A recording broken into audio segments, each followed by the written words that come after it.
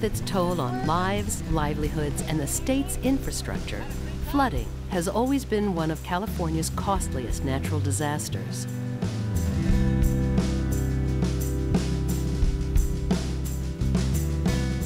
To protect people, property, and businesses from being victims of seasonal high water, Californians began developing flood control systems in the late 1800s, and improvements continue today.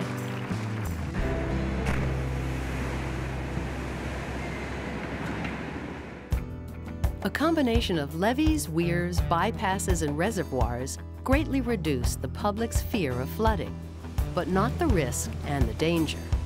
California's flood control systems are still vulnerable to an exceptionally severe storm. When we inventory the cities, homes, and industries that are present in the floodplain, it's obvious that flood fighting personnel need to be ready. That's why flood fighters are trained each year to perform high water heroics prior to flood emergencies. And the supplies they will need to do their job sandbags, plastic sheeting, twine, stakes, tools, and all other flood fighting materials are standing ready for flood emergencies in locations throughout California. During flood emergencies and periods of high water, critical levees and other structures are patrolled to spot any early warning signs. When a problem is found, flood fighters go to work performing tried and true methods that can prevent disaster. And although flood fight structures are temporary fixes, they must perform like permanent ones.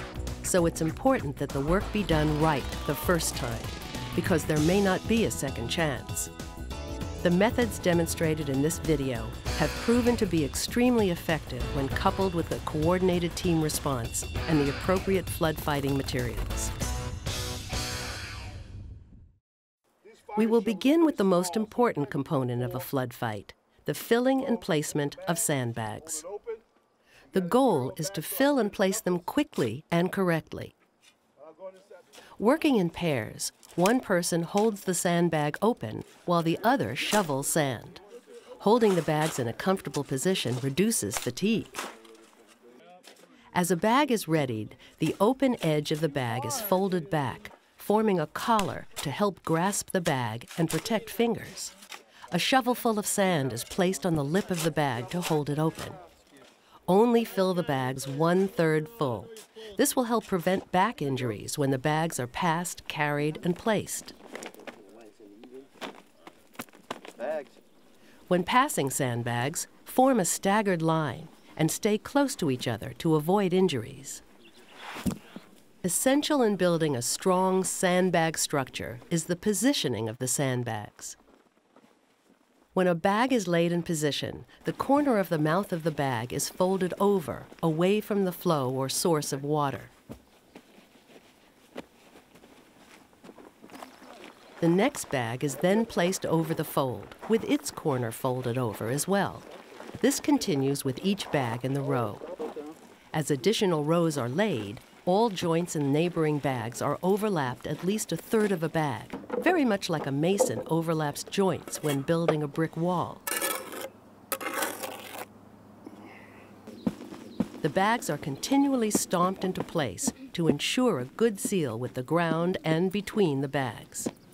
With this simple sandbag positioning technique, we will show you how to build sack topping, diversion walls, boil sack rings, structure protection, wave wash protection, a raincoat, and an emergency spillway.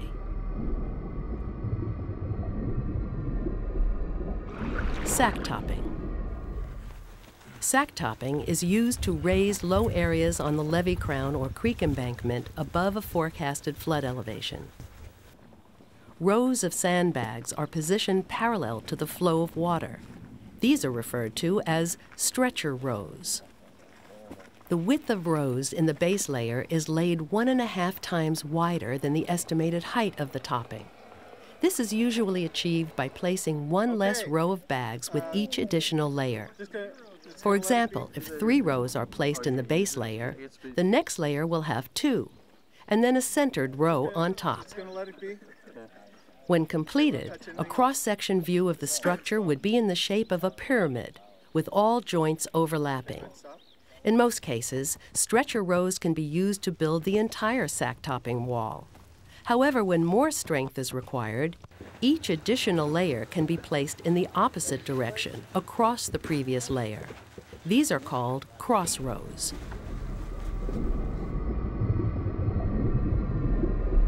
The diversion wall. A half pyramid shaped sandbag wall can be used for diverting water and mud flows. The tall side of the wall faces the flow of water and mud. As with most sandbag structures, the width of the base layer is one and a half times wider than the estimated height of the structure. In this method, the second layer is placed directly over the bottom layer to begin forming the wall. Each joint is overlapped and stomped into place. Additional layers continue to be positioned, forming the shape of a half pyramid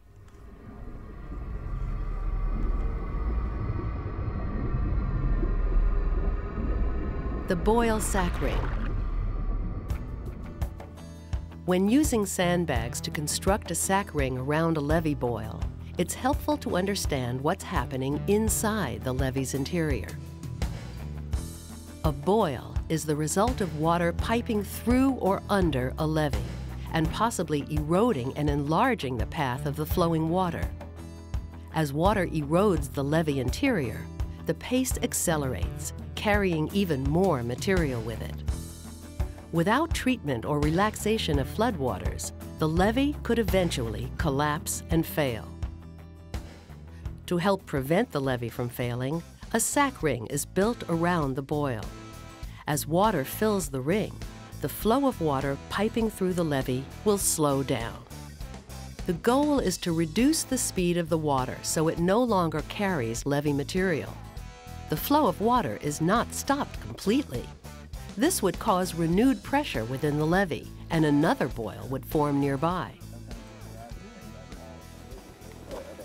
To build a sack ring, the first bags are positioned around the boil on firm ground, approximately 36 inches in diameter, or larger if necessary. The corner of the mouth of each bag is folded over, and the next bag is positioned over the fold.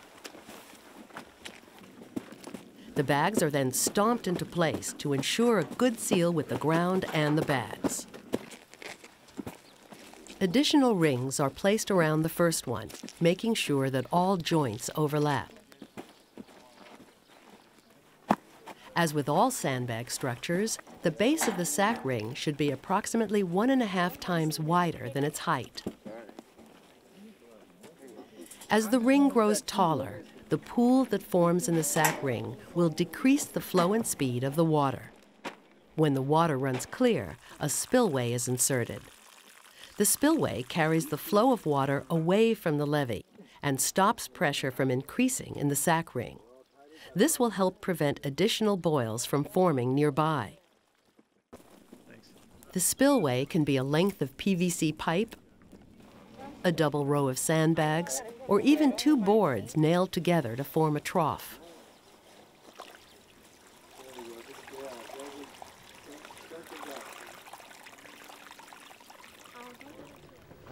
If a boil is located on the levee slope, a U-shaped sack ring can be built. If several boils are found close to each other, one sack ring can be built to surround all of them.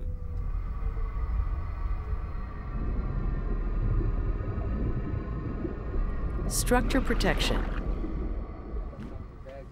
Sandbag construction is also used to protect homes and buildings from rising floodwaters. First, doors, vents, and basement windows are covered with plywood.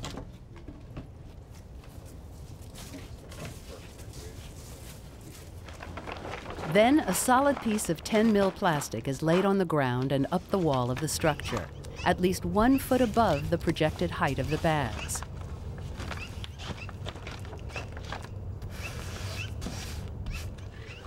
The width will be one and a half times the planned height of the sandbag protection. the first row of bags is placed on the plastic against the structure. The placement is similar to the diversion wall, with the additional layers facing the structure. Again, each joint is overlapped and stomped into place.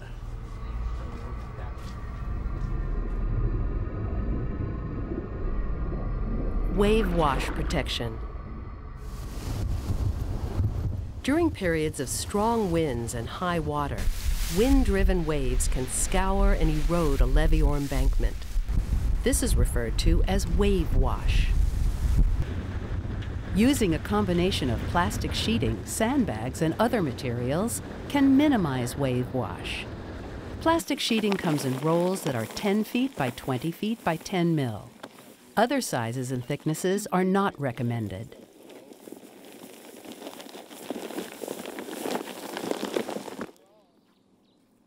Beginning at the upend stream of the area to be protected, Two foot, one by three inch wooden stakes are driven into the ground along the levee shoulder.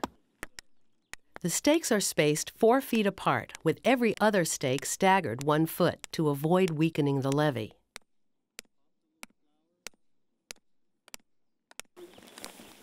Below the stakes, the plastic sheeting is rolled out just above the area being protected. Several flood fighters hold the two edges of the plastic and shake it out to create a 10 foot deep envelope. Position the envelope's open edges so they face the top of the levee. The flood fight crew stands on one edge of the plastic and opens the envelope. Knotted sandbags are thrown inside to the bottom of the plastic, about one foot apart. The knotted bags are one third full and can be easily tied by holding one of the corners and spinning the bag.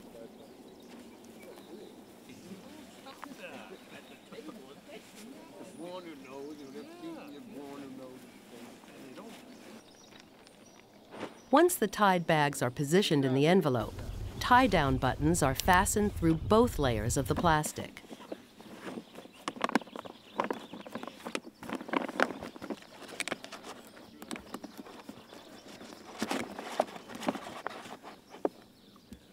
Then baling twine is used to secure them to the stakes.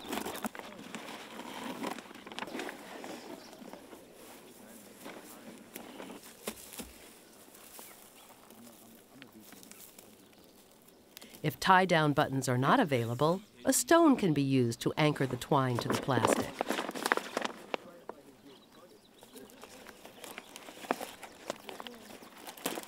Next, a method forming a crisscross design of twine and sandbags adds additional weight to hold the plastic down.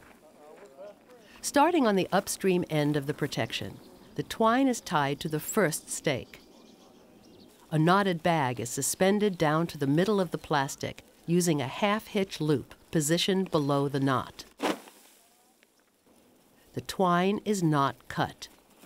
A stake is skipped and the twine is tied to the next stake, using another half hitch. The half hitch knot is helpful in making any needed adjustments. The next bag is positioned and adjusted so it hangs to the center of the plastic below the stake that was skipped. When two to three hanging bags have been placed, the same procedure can be started on the second upstream stake. As with the first stake, knotted bags are suspended down to the middle of the plastic.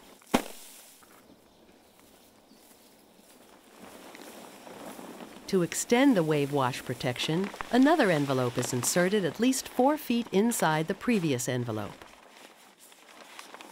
To create the splice, four tie-down buttons are used to fasten the plastic to the stakes. Two buttons secure the bottom two layers, and two buttons secure the top two layers, four feet apart. To complete the splice, sandbags are placed along the seam. If the slope is steep, some bags may need to be tied to a stake to help anchor the row. All seams are then covered with sandbags.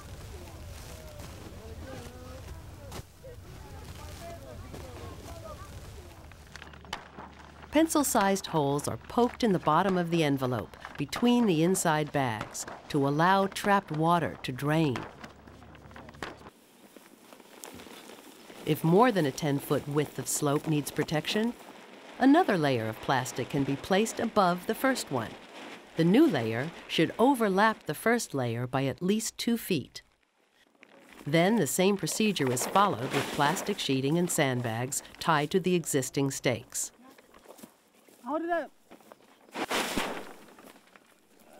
Finally, all additional seams are covered with sandbags.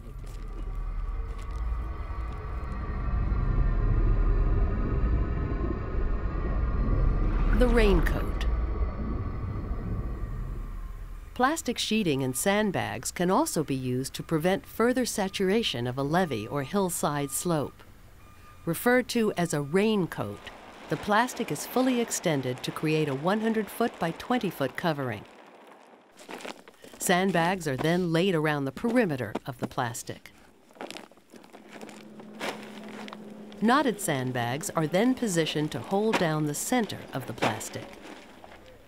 If the slope is steep, the crisscross method of stakes, twine, and tied sandbags can be used to weigh the plastic down.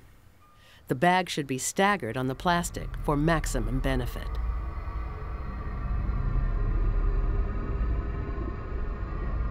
The emergency spillway. When a river is rising fast, an emergency spillway can be applied to a low section of levee to control overtopping. This method will permit floodwater to cross over the levee at the spillway while maintaining the levee's structural integrity. Avoiding uncontrolled overtopping should always be the number one priority. In this method, a roll of plastic sheeting is fully extended over the levee crown and down its landside slope. Sandbags are then placed around all edges of the plastic. If needed, some of the bags on the slope can be tied to a stake to help anchor the row.